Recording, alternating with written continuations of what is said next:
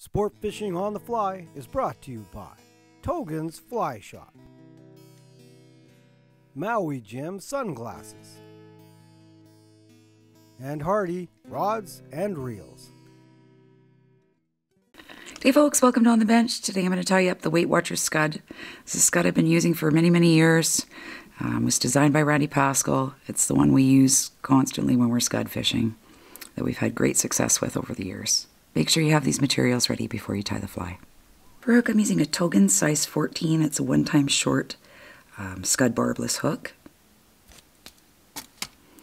For thread, I'll be using 18-aught black Semperfli Nano Silk. Using Scudback uh, 1 8 Clear by Hareline. For the flash, I'm using Semperfli, it's flat tinsel 0.4 millimeter in Mirage. And for the body, I'm using an olive cactus chenille. Just go ahead and start your thread on the hook. Prefer using nano silk for this fly because it's nice and thin and strong. I actually don't, uh, I never used to tie this fly. I used to make Randy tie it all the time until nano silk came along because the head for it was difficult and challenging for me. Just bring it back to where the um, curve starts in the hook. Now you can take your um, scud back, a little piece of scud back, and I'm just going to bring my thread back up again, about halfway. That's where I'm going to put a loose loop over top of that scud back.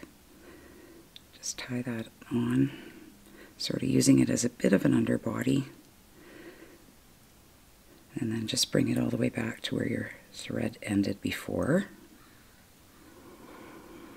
Bring your thread back up a ways. Now you can take your um, flash uh, holographic, you could use Mirage uh, tinsel as I am. You could use holographic flash. Any kind of pearl colored flash is fine. I've got one long piece here and I'm just going to wrap it around the um, thread to make two pieces and bring them right on top and just tie it right down on top. So I've got two pieces there. I want to come forward. I don't have a material clip again on my vise. Hang on, I'm just going to wrap them around here to hold them. Might have to snip them away. There. Now you can take your cactus chenille. Um, you most likely won't find the exact one that I'm using. I got it from somebody at Fly Tying Night many years ago. So I don't know what brand it is. It does have a lighter colored core to it, as you can see. I have found some very similar. It's not the same color and it's in a, a burnt olive color. I got this at Fly Angler and I got it at Sea Run. And the other thing you could use is the Semperfli um, straggle string. And actually I think Brian Chan ties a scud using the straggle, the UV straggle. It comes in both UV and the straggle eggs, uh, no UV. You could mix two together even to get the color you're looking for for the scuds in your lake. Um, the ones we fish, the lakes we fish, this is the, the color we found that works sort of the best. It's more of a, like a light olive or a golden olive. I've just taken a little bit of the cactus chenille and pulled it right off the string, so I have a little piece of exposed string to tie in on.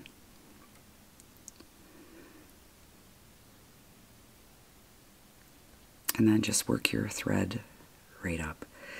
Now the best line to use with this fly, because it has no weight, um, is actually a type 1 and it's meant for fishing shallow water, you know, like when the scuds are in less than 5 feet. Ideally, you want to be in like, you know, 6 to 8 feet of water casting into 2 to 3 as, as, as long of a cast as you can make because they're, you know, pretty spooky when they're in the weeds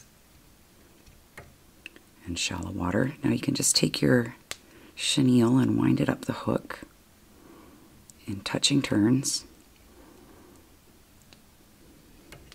And it's good to use a, a, really erratic retrieve with this fly. Really quick, erratic, very, very short strips. Move the fly as fast as you can, but hardly move it at all.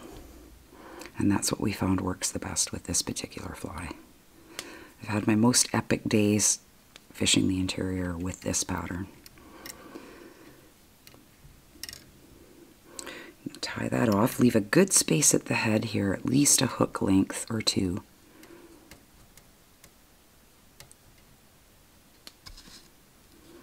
Go ahead and trim that away. Next, take your, sorry about this, take your scissors and just trim away the very top of the fly so that you have a little platform for your scud back and flash to sit on. You could use ostrich herl for this fly as well. It wouldn't uh, sparkle the same, but it would have a little something with the flash on the back.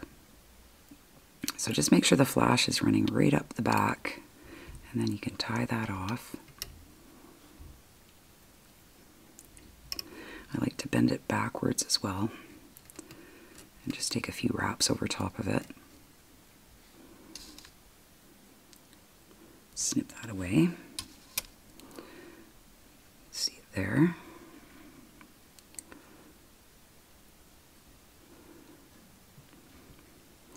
Now you can take your scud back and just, I'm just going to use um, a little drop of crazy glue, super glue, right on top. Uh, for years and years, we never even used scud back on this fly. Randy prefers to use the material bags that some of your materials come in.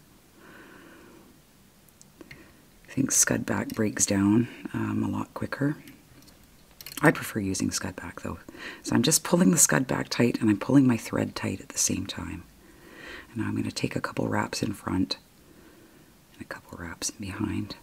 And I'm going to throw a little um, uh, whip finish or half hitch in here before I cut my scud back off. Always a good idea. And now you can take your scud back and pull it tight and just snip it off. And then build a little black head.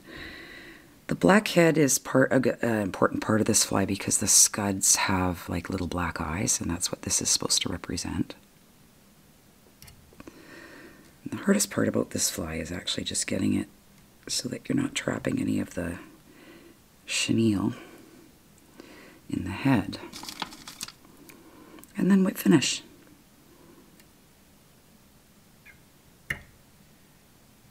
And I'm going to put two finishes of the nano silk in there. You can add uh, head cement or resin of your choice as well. Snip that off, and I'm just going to give it a little touch of the um, crazy glue on the head.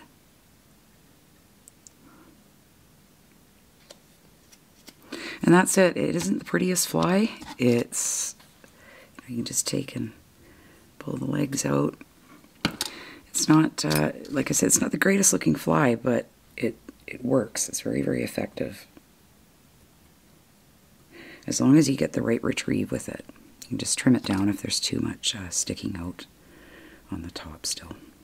And that's it, the Weight Watcher Scud. Thanks for joining me on this edition of On the Bench. Take care, everyone. As always, conserve the waters and tight lines.